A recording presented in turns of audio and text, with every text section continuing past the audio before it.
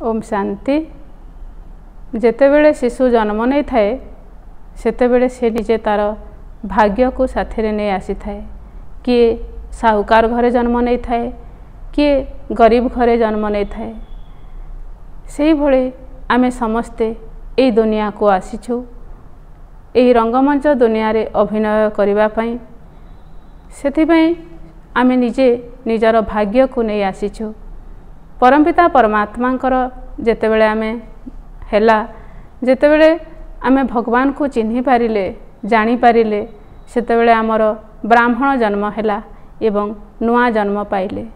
ଏହି ଜନ୍ମରେ ବି ମଧ୍ୟ ଆମେ ନିଜେ ଆମର ନିଜର ଭାଗ୍ୟକୁ ନେଇ ଆସିଲେ।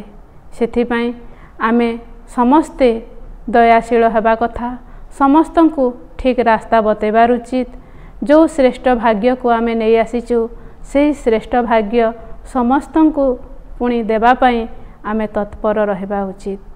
ଭଗବାନ କହୁଛନ୍ତି ଯିଏ ଯେତେ ମୋର ସେବା କରିବ ଯେତେ ପରମାତ୍ମାଙ୍କର ପରିଚୟ ମୋର ଦେବ ସେ ସଚ୍ଚା ସେବାଧାରୀମାନଙ୍କୁ ମୁଁ ବହୁତ ଭଲ ପାଇଥାଏ। ତାହେଲେ ଆସନ୍ତୁ ଆଜି ଆମେ ଶୁଣିବା ସେହି ପରମାତ୍ମାଙ୍କର ମହାବାକ୍ୟ ଯେଉଁଟାକି ସଚ୍ଚା ସେବାରେ ହିଁ ଆମର ଜୀବନକୁ ଆମେ ନିୟୋଜିତ କରିବା ଉଚିତ। କାରଣ ଦୁନିଆରେ ସମସ୍ତେ ସୁଖ ଶାନ୍ତି ପାଇବା ପାଇଁ ଚାହିଁଥାନ୍ତି ଏବଂ ସେହି ସୁଖ ଶାନ୍ତି ଆନନ୍ଦ ପ୍ରାପ୍ତ କରିବାର ବିଧି ହେଉଛି ପରମାତ୍ମାଙ୍କର ଜ୍ଞାନ ପ୍ରାପ୍ତି। ଆଜି ଆମେ ଶୁଣିବା ପନ୍ଦର ଏପ୍ରିଲ ଦୁଇହଜାର ଏକୋଇଶର ସାକାର ମହାବାକ୍ୟ। ଆଜି ବାବା କହୁଛନ୍ତି ମିଠେ ବଚ୍ଚେ ବାବାଙ୍କ ଭଳି ଦୟାଶୀଳ ହୋଇ ଅନେକଙ୍କୁ ରାସ୍ତା ଦେଖାଅ। ଯେଉଁ ସନ୍ତାନମାନେ ଦିନ ରାତି ସେବାରେ ଲାଗି ରହୁଛନ୍ତି ସେହିମାନେ ହିଁ ବାହାଦୁର ଅଟନ୍ତି। ଆଜି ବାବାଙ୍କ ପ୍ରଶ୍ନ ହେଲା ଉଚ୍ଚ ଭାଗ୍ୟ ଗଢ଼ିବାର ମୁଖ୍ୟ ଆଧାର କେଉଁ କଥା ଉପରେ ନିର୍ଭର କରେ? ବାବାଙ୍କ ଉତ୍ତର ହେଲା ଯୋଗର ଯାତ୍ରା ଉପରେ ଯିଏ ଯେତେ ବାବାଙ୍କୁ ଯୋଗ କରୁଛି ସିଏ ସେତେ ନିଜର ଭାଗ୍ୟକୁ ଉଚ୍ଚ କରୁଛି। ତେଣୁ ଶରୀର ନିର୍ବାହ ଅର୍ଥେ କର୍ମ କରି ମଧ୍ୟ ବାବା ଏବଂ ତାଙ୍କର ସମ୍ପତ୍ତିକୁ ମନେ ପକାଉଥାଅ। ତେବେ ଭାଗ୍ୟ ଉଚ୍ଚ ହୋଇଯିବ। ଆଜିର ଗୀତ ହେଲା ତକଦିର ଜଗାକର ଆଇ ହୁଁ ନେଇ ଦୁନିଆ ବସାକର লাই ହୁଁ। ଓମ୍ ଶାନ୍ତି। ଯେତେବେଳେ ଶିଶୁମାନେ ଜନ୍ମ ନିଅନ୍ତି ସେତେବେଳେ ସେମାନେ ନିଜର ପୂର୍ବଜନ୍ମର କର୍ମ ଅନୁସାରେ ଭାଗ୍ୟକୁ ସାଥିରେ ନେଇ ଆସିଥାନ୍ତି। କେହି ସାହୁକାର ଘରେ ଆଉ କେହି ଗରିବ ଘରେ ଜନ୍ମ ନେଇଥାନ୍ତି। ତାଙ୍କର ପିତା ମାତା ମଧ୍ୟ ଭାବିଥାନ୍ତି ଯେ ମୋର ଉତ୍ତରାଧିକାରୀ ଆସିଗଲା। ସିଏ ଯେଉଁଭଳି ଭାବରେ ଦାନ ପୁଣ୍ୟ କରିଥାନ୍ତି ତାଙ୍କୁ ସେହି ଅନୁସାରେ ଜନ୍ମ ମିଳିଥାଏ। ଏବେ ତୁମେ ମିଠା ମିଠା ବିଚ୍ଛେଦୀ ସନ୍ତାନମାନଙ୍କୁ ଗୋଟିଏ କଳ୍ପ ପରେ ପୁନର୍ବାର ବାବା ଆସି ଏହି କଥା ବୁଝେଇଛନ୍ତି। ପିଲାମାନେ ମଧ୍ୟ ଜାଣିଛନ୍ତି ଆମେ ନିଜର ଭାଗ୍ୟ ସାଥିରେ ନେଇ ଆସିଛୁ ସ୍ୱର୍ଗର ରାଜତ୍ୱର ଭାଗ୍ୟ ସାଥିରେ ନେଇ ଆସିଛୁ ଅର୍ଥାତ୍ ଜନ୍ମ ହେବା ମାତ୍ରକେ ରାଜ୍ୟ ଭାଗ୍ୟର ଅଧିକାରୀ ହୋଇଯାଇଛୁ। ଯେଉଁମାନେ ଭଲ ଭାବରେ ବାବାଙ୍କୁ ଜାଣିଛନ୍ତି ଏବଂ ମନେ ପକାଉଛନ୍ତି ଏ କଥା ସେମାନେ ଭଲ ଭାବରେ ଜାଣିଛନ୍ତି। କାରଣ ଯୋଗ ସହିତ ଭାଗ୍ୟର ମଧ୍ୟ ସମ୍ପର୍କ ରହିଛି। ଯେହେତୁ ତୁମେମାନେ ଏଠାରେ ଜନ୍ମ ନେଇଛ ତେଣୁ ବାବାଙ୍କର ସ୍ମୃତି ମଧ୍ୟ ରହିବା ଦରକାର। ଯେତେ ବାବାଙ୍କୁ ମନେ ପକାଇବ ସେତେ ଭାଗ୍ୟ ମଧ୍ୟ ଉଚ୍ଚ ହେବ। ଏହା କେତେ ସହଜ କଥା। ଗୋଟିଏ ସେକେଣ୍ଡରେ ଜୀବନ ମୁକ୍ତି ମିଳିଯାଉଛି। ତୁମେମାନେ ଏଠାକୁ ସୁଖଧାମର ଭାଗ୍ୟ ପ୍ରାପ୍ତ କରିବା ପାଇଁ ଆସିଛ। ଏବେ ସମସ୍ତେ ପୁରୁଷାର୍ଥ କରୁଛନ୍ତି। ପ୍ରତ୍ୟେକ ନିଜକୁ ଦେଖୁଛନ୍ତି ଯେ ମୁଁ କିପରି ପୁରୁଷାର୍ଥ କରୁଛି। ମମ୍ମା ବାବା ଏବଂ ସେବାଧାରୀ ପିଲାମାନେ ଯେପରି ପୁରୁଷାର୍ଥ କରୁଛନ୍ତି ସେମାନଙ୍କୁ ଅନୁକରଣ କରିବା ଉଚିତ। ସମସ୍ତଙ୍କୁ ବାବାଙ୍କର ପରିଚୟ ଦେବା ଉଚିତ। ବାବାଙ୍କର ପରିଚୟ ଦେବା ଦ୍ୱାରା ରଚନା ଅର୍ଥାତ୍ ସୃଷ୍ଟିର ଆଦି ମଧ୍ୟ ଅନ୍ତର ଜ୍ଞାନ ମଧ୍ୟ ଆସିଯିବ। ଋଷିମୁନି ଆଦି କେହି ବି ରଚୟିତା ଏବଂ ରଚନାର ଆଦି ମଧ୍ୟ ଅନ୍ତର ଜ୍ଞାନ ଦେଇପାରିବେ ନାହିଁ। ଏବେ ତୁମମାନଙ୍କ ବୁଦ୍ଧିରେ ସାରା ଚକ୍ରର ସ୍ମୃତି ରହୁଛି। ଦୁନିଆରେ କେହି ବି ବାବା ଏବଂ ତାଙ୍କର ସମ୍ପତ୍ତିକୁ ଜାଣିନାହାନ୍ତି ତୁମେ ପିଲାମାନେ ଏବେ ବାବାଙ୍କୁ ଏବଂ ନିଜର ଭାଗ୍ୟକୁ ଜାଣିଛ। ତେଣୁ ଏବେ ତୁମମାନଙ୍କୁ ବାବାଙ୍କୁ ମନେ ପକାଇବାକୁ ହେବ। ଶରୀର ନିର୍ବାହ ଅର୍ଥେ କର୍ମ ମଧ୍ୟ କରିବାକୁ ହେବ। ଘର ଦ୍ୱାର ମଧ୍ୟ ସମ୍ଭାଳିବାକୁ ହେବ। କେହି ଯଦି ନିର୍ବନ୍ଧନ ଅଛନ୍ତି ତେବେ ସିଏ ବହୁତ ଭଲ ସେବା କରିପାରିବେ। ଯଦି କୌଣସି ସନ୍ତାନ ସନ୍ତତି ନାହାନ୍ତି ତେବେ ତାଙ୍କୁ ସେବା କରିବାର ବହୁତ ଭଲ ସୁଯୋଗ ଅଛି। ସ୍ତ୍ରୀମାନଙ୍କୁ ପିଲାମାନଙ୍କର ବା ପତିମାନଙ୍କର ବନ୍ଧନ ରହିଥାଏ। ଯଦି ପିଲାଛୁଆ ନାହାନ୍ତି ତେବେ ବନ୍ଧନ ମୁକ୍ତ ଅଟନ୍ତି ନା? ସେମାନେ ଯେପରି ବାନପ୍ରସ୍ତି ହୋଇଗଲେ ତେବେ ମୁକ୍ତିଧାମକୁ ଯିବା ପାଇଁ ସଙ୍ଗ ଦରକାର। ଭକ୍ତି ମାର୍ଗରେ ତ ସାଧୁ ସନ୍ନ୍ୟାସୀମାନଙ୍କର ବା ନିବୃତ୍ତି ମାର୍ଗବାଲାଙ୍କର ସଙ୍ଗ ମିଳିଥାଏ। ତେବେ ନିବୃତ୍ତି ମାର୍ଗୀ ସନ୍ନ୍ୟାସୀମାନେ ପ୍ରବୃତ୍ତି ମାର୍ଗର ସମ୍ପତ୍ତି ବାବାଙ୍କ ଠାରୁ ଦିଆଇ ପାରିବେ ନାହିଁ। ତୁମେ ପିଲାମାନେ ହିଁ ଦେଇପାରିବ ତୁମକୁ ବାବା ଆସି ରାସ୍ତା ବତାଉଛନ୍ତି। ଭାରତର ଚଉରାଶୀ ଜନ୍ମର ଇତିହାସ ଭୂଗୋଳ ସମ୍ବନ୍ଧରେ ସମସ୍ତଙ୍କୁ ବୁଝାଅ। ଭାରତବାସୀ ହିଁ ଚଉରାଶୀ ଜନ୍ମ ନେଉଛନ୍ତି। ଏହା କୌଣସି ଜଣଙ୍କର କଥା ନୁହେଁ। ଯେଉଁମାନେ ସୂର୍ଯ୍ୟବଂଶୀ ହୁଅନ୍ତି ସେହିମାନେ ପୁଣି ଚନ୍ଦ୍ରବଂଶୀ ବୈଶ୍ୟବଂଶୀ ଏବଂ ବୈଶ୍ୟବଂଶୀ କୁଟୁମ୍ବରୁ ଆସିଥାନ୍ତି। କିନ୍ତୁ କ୍ରମ ଅନୁସାରେ ପଦ ପାଇଥାନ୍ତି। ଭାରତର ପ୍ରଥମ ନମ୍ବର ରାଜକୁମାର ହେଲେ ଶ୍ରୀକୃଷ୍ଣ ଯାହାଙ୍କୁ ଦୋଳିରେ ଝୁଲେଇଥାନ୍ତି। ଦ୍ୱିତୀୟ ନମ୍ବରକୁ ଝୁଲେଇ ନଥାନ୍ତି କାରଣ କଳା କମ୍ ହୋଇଯାଏ। ଯିଏ ପ୍ରଥମ ନମ୍ବର ଅଟନ୍ତି ପୂଜା ମଧ୍ୟ ତାଙ୍କର ହିଁ ହୋଇଥାଏ। ଲୋକମାନେ ଜାଣିନାହାନ୍ତି ଯେ ଶ୍ରୀକୃଷ୍ଣ ଜଣେ ବା ଦୁଇ ତିନି ଜଣ ଅଟନ୍ତି। କୃଷ୍ଣଙ୍କର ରାଜ ପରିବାରର ରାଜ୍ୟ ଚାଲିଥାଏ। ଏ କଥା କାହାକୁ ବି ଜଣା ନାହିଁ। ପୂଜା କେବଳ ପ୍ରଥମ ନମ୍ବରର ହୋଇଥାଏ। ନମ୍ବର ତ କ୍ରମ ଅନୁସାରେ ହିଁ ମିଳିଥାଏ। ତେବେ ପୁରୁଷାର୍ଥ କରିବା ଦରକାର ଯେ ମୁଁ କାହିଁକି ପ୍ରଥମ ନମ୍ବରରେ ନ ଆସିବି? ମମା ବାବାଙ୍କୁ ଅନୁକରଣ ନ କରିବି। ତାଙ୍କର ରାଜଧାନୀ ନ ନେବି। ଯେଉଁମାନେ ଭଲ ଭାବରେ ସେବା କରିବେ ସେମାନେ ଭଲ ମହାରାଜା ଘରେ ଜନ୍ମ ନେବେ। ସେଠାରେ ତ ମହାରାଜା ମହାରାଣୀ ହିଁ ଥିବେ। ସେହି ସମୟରେ ସତ୍ୟ ଯୁଗରେ କୌଣସି ରାଜାରାଣୀର ଉପାଧି ନଥାଏ। ତାହାପରେ ଆରମ୍ଭ ହୁଏ ଦ୍ୱାପର ଯୁଗରୁ। ଯେତେବେଳେ ପତିତ ହୋଇଯାଆନ୍ତି ସେତେବେଳେ ସେମାନଙ୍କ ମଧ୍ୟରୁ ଅଧିକ ସମ୍ପତ୍ତିବାଲାଙ୍କୁ ରାଜା କୁହାଯାଏ।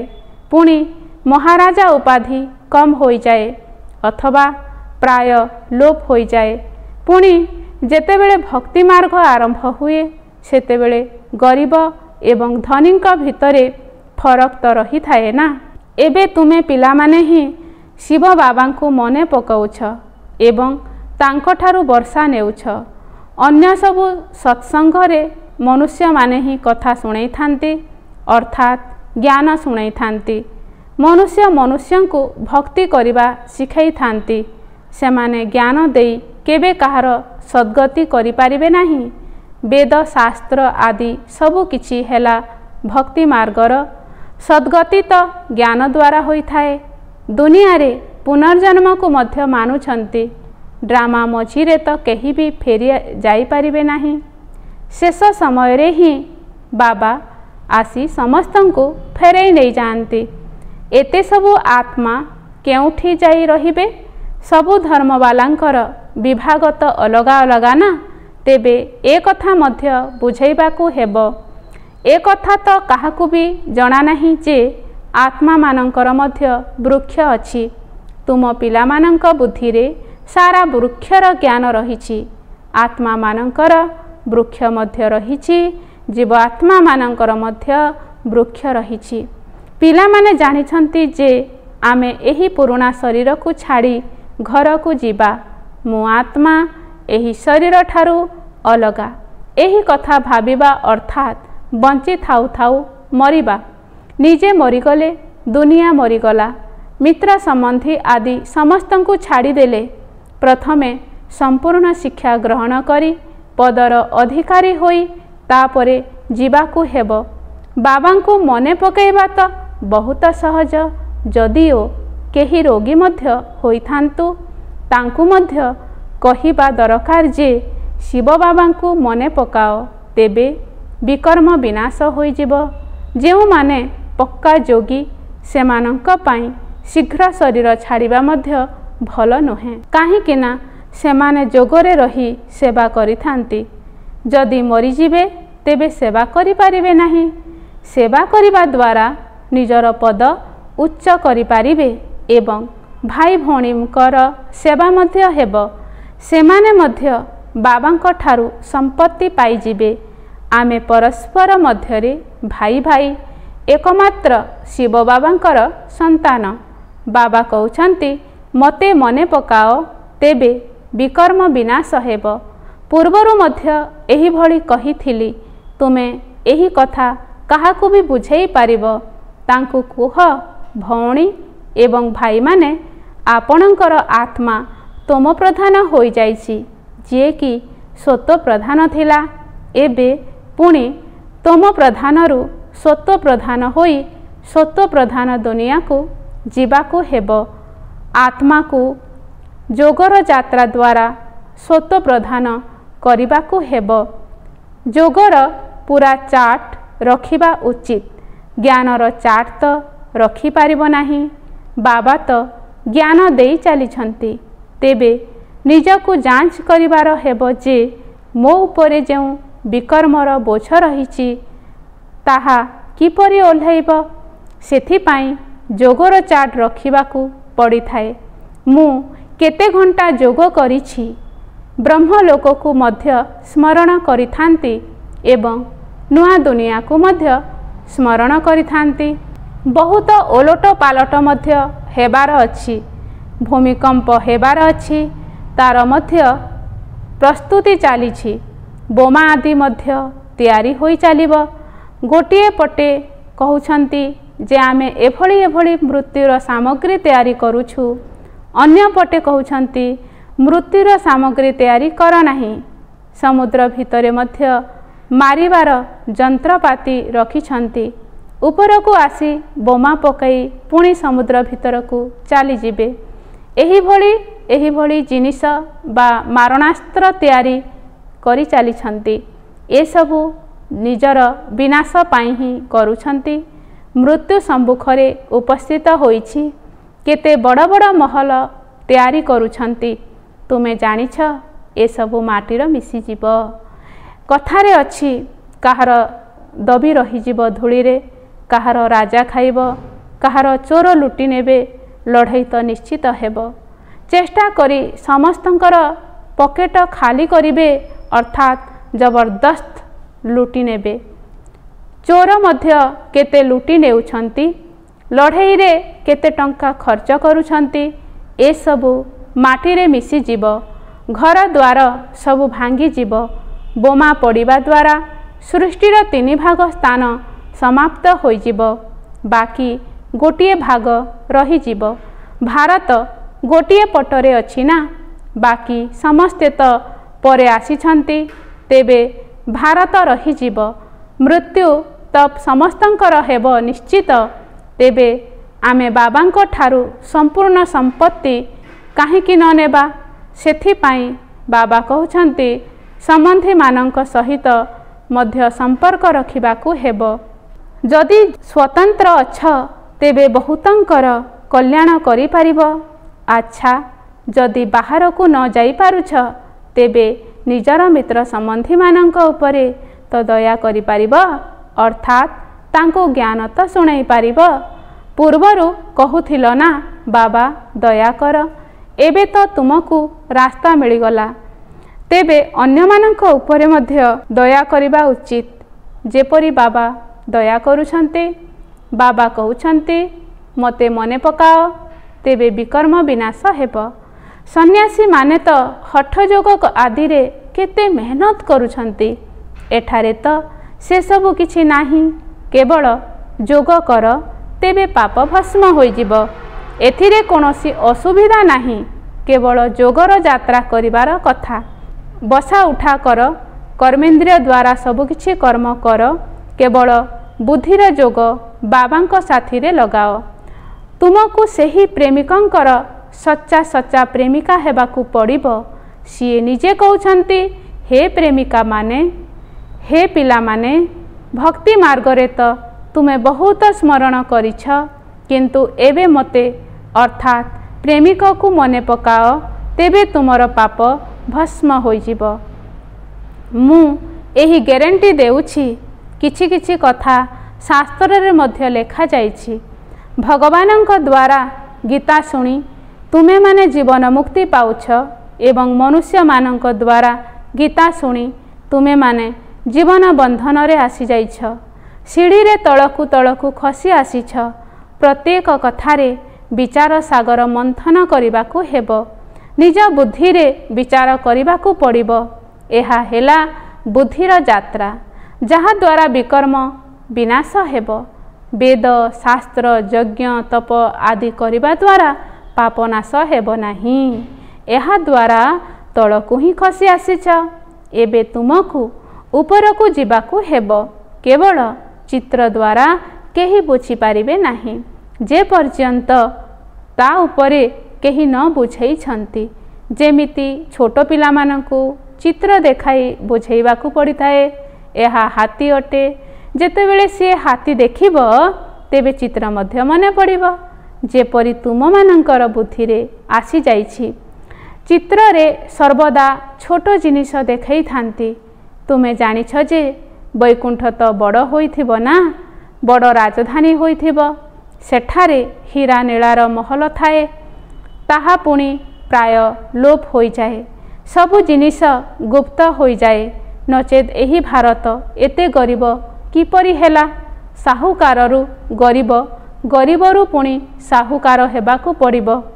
ଏହି ଡ୍ରାମା ପୂର୍ବ ପ୍ରସ୍ତୁତ ଅଟେ। ସେଥିପାଇଁ ସିଡ଼ି ଚିତ୍ର ଉପରେ ବୁଝା ଯାଇଥାଏ। ଯେତେବେଳେ ନୂଆ ନୂଆ ମାନେ ଆସୁଛନ୍ତି ସେମାନଙ୍କୁ ବୁଝେଇବା ଦ୍ୱାରା ଅଭ୍ୟାସ ହୋଇଯିବ ମୁଖ ଖୋଲିଯିବ। ମୁଁ ପିଲାମାନଙ୍କୁ ସେବା କରିବାର ଯୋଗ୍ୟ କରାଉଛି। କେତେକ ସେବା କେନ୍ଦ୍ରରେ ତ ବହୁତ ପିଲା ଅଶାନ୍ତି ସୃଷ୍ଟି କରୁଛନ୍ତି। ସେମାନଙ୍କର ବୁଦ୍ଧି ଯୋଗ ବାହାରେ ଘୁରି ବୁଲିବା କାରଣରୁ ବହୁତ କ୍ଷତି କରିଦେଇଥାନ୍ତି। ସେମାନେ ବାୟୁମଣ୍ଡଳକୁ ମଧ୍ୟ ଖରାପ କରିଦେଇଥାନ୍ତି। କ୍ରମାନୁସାରେ ତ ଅଛନ୍ତି ନା? ତେବେ ବାବା କହିବେ ତୁମେ ପାଠ ପଢ଼ିଲ ନାହିଁ ଏବେ ନିଜର ଅବସ୍ଥାକୁ ଦେଖ। ନିଜକୁ ଦିନକୁ ଦିନ ଅଧିକ ଅଧିକ ସାକ୍ଷାତକାର ହେବାକୁ ଲାଗିବ। ପାପ କରିଲା ବାଲାକୁ ଦଣ୍ଡ ମଧ୍ୟ ମିଳି ଚାଲିବ। ସେତେବେଳେ କହିବେ ମୁଁ କାହିଁକି ତୁଚ୍ଛାଟାରେ ପାପ କଲି? ବାବାଙ୍କୁ ଶୁଣାଇ ପ୍ରାୟଶ୍ଚିତ କରିବା ଦ୍ୱାରା ଦଣ୍ଡ କିଛିଟା କମ୍ ହୋଇଯାଇପାରେ। ନଚେତ୍ ବୃଦ୍ଧି ହେବାକୁ ଲାଗିବ। ଏହିଭଳି ବହୁତ ହେଉଛି। ନିଜେ ମଧ୍ୟ ଅନୁଭବ କରୁଛନ୍ତି। ପୁଣି କହୁଛନ୍ତି କ'ଣ କରିବି? ମୋର ତ ଏହି ଅଭ୍ୟାସ ଛାଡ଼ୁନାହିଁ ତା ଅପେକ୍ଷା ତ ଘରେ ଯାଇ ରହିବା ଭଲ। କେହି କେହି ତ ବହୁତ ଭଲ ସେବା କରୁଛନ୍ତି। ଆଉ କେହି କେହି ଅପସେବା ମଧ୍ୟ କରୁଛନ୍ତି। ଆମ ସେନାବାହିନୀରେ କିଏ କିଏ ବାହାଦୁର ଅର୍ଥାତ୍ ଭଲ ପୁରୁଷାର୍ଥୀ ଅଛନ୍ତି। ବାବା ସେମାନଙ୍କର ନାମ ଶୁଣାଉଛନ୍ତି। ବାକି ଏଠାରେ ଯୁଦ୍ଧ ଆଦିର କୌଣସି କଥା ନାହିଁ। ଏସବୁ ହେଲା ବେହଦର କଥା। ବାବା ନିଶ୍ଚିତ ଭଲ ଭାବରେ ପିଲାମାନଙ୍କର ମହିମା କରିବେ। ପିଲାମାନଙ୍କୁ ବହୁତ ଦୟାଶୀଳ କଲ୍ୟାଣକାରୀ ହେବାକୁ ପଡ଼ିବ। ଅନ୍ଧମାନଙ୍କର ବାଡ଼ି ଅର୍ଥାତ୍ ସାହାରା ହେବାକୁ ପଡ଼ିବ। ସମସ୍ତଙ୍କୁ ରାସ୍ତା ଦେଖାଇବାକୁ ହେବ ଯେ ଯଦି ବାବାଙ୍କୁ ମନେ ପକାଇବ ତେବେ ବିକର୍ମ ବିନାଶ ହେବ। ପାପାତ୍ମା ଏବଂ ପୁଣ୍ୟାତ୍ମା ବୋଲି କୁହାଯାଏ ନା ଏମିତି ନୁହେଁ କି ସମସ୍ତଙ୍କ ଭିତରେ ପରମାତ୍ମା ଅଛନ୍ତି ବା ଆତ୍ମା କେବେ ପରମାତ୍ମା ହୋଇଯିବ। ଏହା ସବୁ ଭୁଲ କଥା। ପରମାତ୍ମାଙ୍କ ଉପରେ କ'ଣ ପାପ ଲାଗିପାରିବ ତାଙ୍କର ତ ଡ୍ରାମାରେ ସେବା କରିବାର ପାଠ ରହିଛି। ମନୁଷ୍ୟ ହିଁ ପାପାତ୍ମା ଓ ପୁଣ୍ୟାତ୍ମା ହୋଇଥାନ୍ତି। ଯେଉଁମାନେ ଦିନେ ସତ୍ୱପ୍ରଧାନ ଥିଲେ ସେମାନେ ପୁଣି ତମ ପ୍ରଧାନ ହୋଇଯାଇଛନ୍ତି। ବାବା ତାଙ୍କ ଶରୀରରେ ଆସି ଆମମାନଙ୍କୁ ସତ୍ୟ ପ୍ରଦାନ କରୁଛନ୍ତି। ତେଣୁ ତାଙ୍କ ମତରେ ଚାଲିବା ଦରକାର ନା? ଏବେ ବାବା ତୁମମାନଙ୍କୁ ବିଶାଳ ବୁଦ୍ଧି କରିଛନ୍ତି। ବର୍ତ୍ତମାନ ତୁମେମାନେ ଜାଣୁଛ ଯେ ରାଜଧାନୀ କିପରି ସ୍ଥାପନା ହେଉଛି। ବାବା ହିଁ ବ୍ରହ୍ମାଙ୍କ ଶରୀରରେ ଆସି ବ୍ରହ୍ମା ମୁଖ ବଂଶାବଳୀ ପିଲାମାନଙ୍କୁ ରାଜଯୋଗ ଶିଖାଇ ଦେବୀ ଦେବତା କରୁଛନ୍ତି। ପୁଣି ସେମାନେ ପୁନର୍ଜନ୍ମ ନେଇ ସିଡ଼ିରେ ତଳକୁ ଖସି ଆସୁଛନ୍ତି। ଏବେ ପୁଣି ସବୁକିଛି ପୁନରାବୃତ୍ତି କରିବାକୁ ହେବ। ବାବା ପୁଣି ବ୍ରହ୍ମାଙ୍କ ଦ୍ୱାରା ସ୍ଥାପନା କରାଉଛନ୍ତି। ଯୋଗବଳ ଦ୍ୱାରା ତୁମେ ପାଞ୍ଚ ବିକାର ଉପରେ ବିଜୟପ୍ରାପ୍ତ କରି ଜଗତ ଜିତ୍ ହେଉଛ। ବାକି ଲଢ଼େଇ ଆଦିର କୌଣସି କଥା ନାହିଁ। ଆଚ୍ଛା ମିଠା ମିଠା ଶିଖିଲଧେ ସନ୍ତାନମାନଙ୍କ ପ୍ରତି ମାତା ପିତା ବାପ ଦାଦାଙ୍କର ମଧୁର ସ୍ନେହଭରା ସ୍ମୃତି ଏବଂ ସୁପ୍ରଭାତ। ଆତ୍ମିକ ପିତାଙ୍କର ଆତ୍ମିକ ସନ୍ତାନମାନଙ୍କୁ ନମସ୍ତେ। ଆତ୍ମିକ ସନ୍ତାନମାନଙ୍କର ମଧ୍ୟ ଆତ୍ମିକ ପିତାଙ୍କୁ ମଧୁର ସ୍ନେହଭରା ସ୍ମୃତି ଏବଂ ଗୁଡ଼ ମର୍ଣ୍ଣିଂ ନମସ୍ତେ ନମସ୍ତେ ନମସ୍ତେ। ଧାରଣା ପାଇଁ ମୁଖ୍ୟ ସାର। ଏକ ନମ୍ବର ବନ୍ଧନମୁକ୍ତ ହୋଇ ବାବାଙ୍କ ସେବାରେ ଲାଗିଯିବାକୁ ହେବ ତେବେ ଯାଇ ଭାଗ୍ୟ ଉଚ୍ଚ ହୋଇପାରିବ। ଦୟାଶୀଳ ହୋଇ ଅନେକଙ୍କୁ ରାସ୍ତା ଦେଖାଇବାକୁ ହେବ ଅନ୍ଧମାନଙ୍କର ବାଡ଼ି ହେବାକୁ ପଡ଼ିବ। ଦୁଇ ନମ୍ବର ପଏଣ୍ଟ ହେଲା ଏହି ଶରୀରରୁ ମୋହ ତୁଟେଇ ବଞ୍ଚିଥାଉ ଥାଉ ମରିବାକୁ ହେବ କାହିଁକି ନା ଏବେ ଘରକୁ ଫେରି ଯିବାକୁ ହେବ। ରୋଗ ସମୟରେ ମଧ୍ୟ ଏକମାତ୍ର ବାବାଙ୍କର ସ୍ମୃତି ରହିଲେ ବିକର୍ମ ବିନାଶ ହୋଇଯିବ। ଆଜିର ବରଦାନ ହେଲା ଅନ୍ୟ ଆତ୍ମାମାନଙ୍କର ସେବା କରିବା ସହିତ ନିଜର ମଧ୍ୟ ସେବା କରୁଥିବା ସଫଳତା ମୂରତ ହୁଅ। ବରଦାନର ବିସ୍ତାର ହେଲା ଯଦି ସେବାରେ ସଫଳତା ମୂରତ ହେବାକୁ ଚାହୁଁଛ ତେବେ ଅନ୍ୟମାନଙ୍କର ସେବା କରିବା ସହିତ ନିଜର ମଧ୍ୟ ସେବା କର। ଯେତେବେଳେ ବି କୌଣସି ସେବା କରିବା ପାଇଁ ଯାଉଛ ସେତେବେଳେ ଏହିଭଳି ମନେ କର ଯେ ସେବା କରିବା ସହିତ ମୁଁ ନିଜର ପୁରୁଣା ସଂସ୍କାର ଗୁଡ଼ିକର ମଧ୍ୟ ଅନ୍ତିମ ସଂସ୍କାର କରୁଛି। ଯେତେ ଯେତେ ନିଜର ପୁରୁଣା ସ୍ୱଭାବ ସଂସ୍କାରର ସଂସ୍କାର କରିବ ସେତେ ସେତେ ତୁମକୁ ଅନ୍ୟମାନଙ୍କ ଦ୍ୱାରା ସତ୍କାର ମିଳିବ। ସବୁ ଆତ୍ମାମାନେ ତୁମ ନିକଟରେ ମନ ଭିତରେ ନମସ୍କାର କରିବେ। କିନ୍ତୁ ତୁମେ ସେମାନଙ୍କୁ ଏଭଳି ତିଆରି କର ଯାହାକି ସେମାନେ ତୁମକୁ ବାହାରେ ନମସ୍କାର କରିବେ ନାହିଁ କିନ୍ତୁ ମନ ଭିତରେ ମୁଣ୍ଡ ନୁଆଉଥିବେ। ଆଜିର ସ୍ଲୋଗାନ ହେଲା ବେହଦର ସେବା କରିବାର ଲକ୍ଷ୍ୟ ରଖ। ତେବେ ସବୁ ପ୍ରକାରର ବିନାଶୀ ବା ଲୌକିକ ବନ୍ଧନ ସମାପ୍ତ ହୋଇଯିବ। ଆଚ୍ଛା ଓମ୍ ଶାନ୍ତି।